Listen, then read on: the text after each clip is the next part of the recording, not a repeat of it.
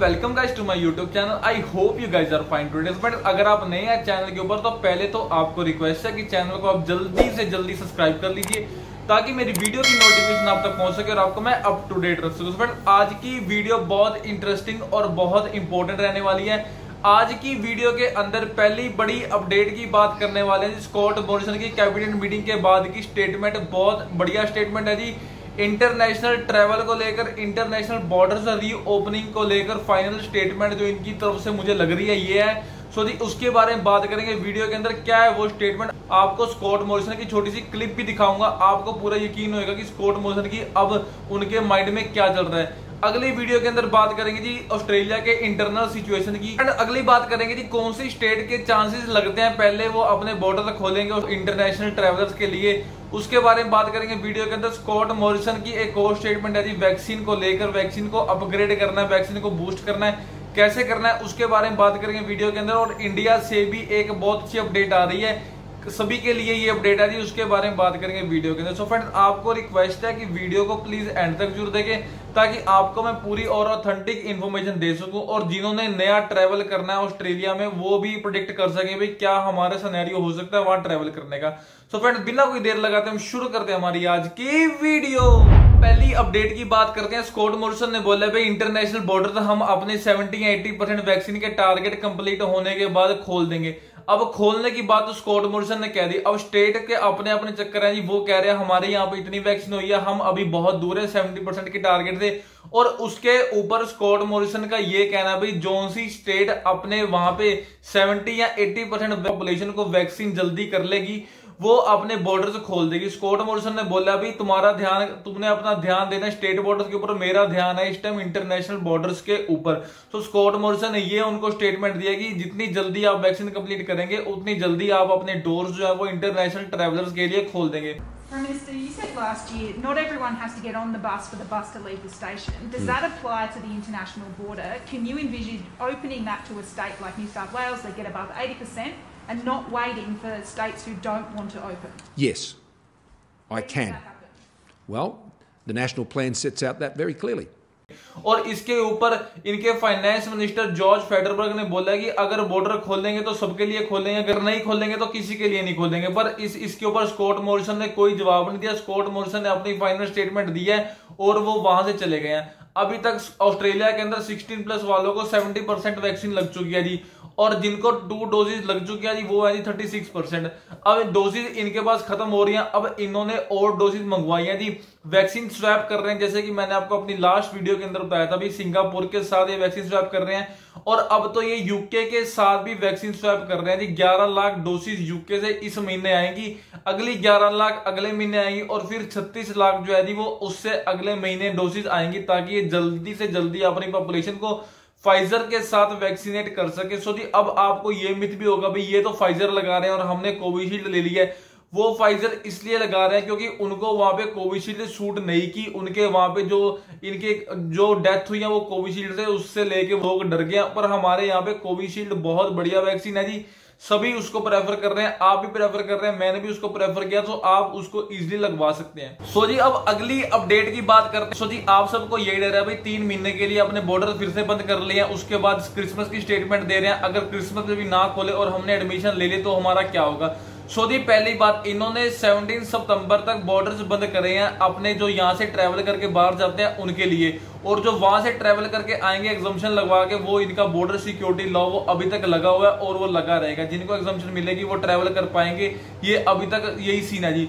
Saudi ये इन्होंने इसलिए किया ताकि ये जल्दी से जल्दी अपनी पॉपुलेशन को वैक्सीनेट कर सके और ग्रेग हंट हर बार आगे यही स्टेटमेंट देते हैं जी जितनी बार वो आए हैं जी, उन्होंने यही बॉर्डर एक्सटेंड वाली स्टेटमेंट दिया जी। और ये इसी के लिए दिया कि अपने ट्रैवल को जल्दी से जल्दी शुरू करने के लिए वैक्सीनेशन का होना बहुत ज़्यादा ज़रूरी है।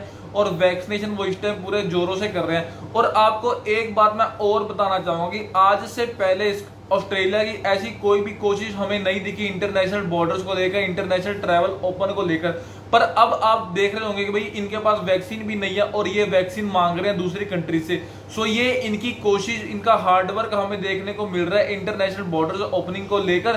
स्कॉट मॉरिसन के पास भी ये इंटरनेशनल ट्रेवल का इंटरनेशनल बॉर्डर्स का वैक्सीन को जल्दी शुरू करें और इंटरनेशनल बॉर्डर खोलें। ये गोल्डन चांस है जी। ये उनके वोटिंग से रिलेट भी करता है। सो आप देख सकते हैं अभी कितना पॉजिटिव इस टाइम स्कोर मोशन चल रहा है इंटरनेशनल बॉर्डर्स को लेकर। सो जी, अब अगर ऑस्ट्रेलिया में ट्रेवल शुरू होता है तो कौन सी ऐसी स्टेट है जी जो पहले अपने ट्रेवल शुरू कर सकती है? पहली स्टेट का नाम देना चाहूँगा जी एनएसडब्ल्यू 70 लाख वैक्सीन हो चुकी है जी एनएसडब्ल्यू के अंदर, और ज़्यादा से ज़्यादा वैक्सीन के माइलस्टोन कंप्लीट करती जा रही है जी। यही एक स्टेट है जो सबसे पहले अपने बॉर्डर्स खोल सकते हैं इंटरनेशनल ट्रेवलर्स के लिए, और ग्लैडी तो पहले ही एग्री करती है थी इंटरनेशनल ट्रेवल्स को ट्रेवलर्स को बुलाने के लिए। और अगली स्टेट है जी विक्टोरिया विक्टोरिया के पास भी सिक्सटी लाख प्लस वैक्सीन हो चुकी है जी। वो भी अपना सिनेरियो दे के अपना ट्रेवल शुरू कर पाएँगे। पर जी वहाँ पे डेनियल एंड्रू ने अब रिस्ट्रिक्शन फिर से लगा दी है जी और उन्होंने वैक्सीन को प्रमोट करने के लिए बहुत सख्त कानून बनाया जी। बिना वैक्सीन के कोई भी कहीं नहीं जा सकता। अगर आपके, अगर आपको सड़क में रोके आपसे वैक्सीन का सर्टिफिकेट मांगा तो आपको वो दिखाना पड़ेगा, नहीं तो आपको 2000 डॉलर का ऑन द स्पॉट फाइन हो जाएगा। पिछले 24 घंटे में दो दिन पहले एसडब्ल्यू में 1200 प्लस केस आए थे जी, और कल ऑस्ट्रेलिया में 1100 प्लस केस आए हैं। सो जी ग्राफ टोटली नीचे जा रहा है डेल्टा वेरिएंट के केसेस नीचे जा रहे हैं। ये बहुत अच्छी बात है, क्योंकि मेन इनका फंडा सारा डेल्टा वेरिएंट से शुरू होता है कि डेल्टा वेरिएंट हमारे कंट्री में ना फैले।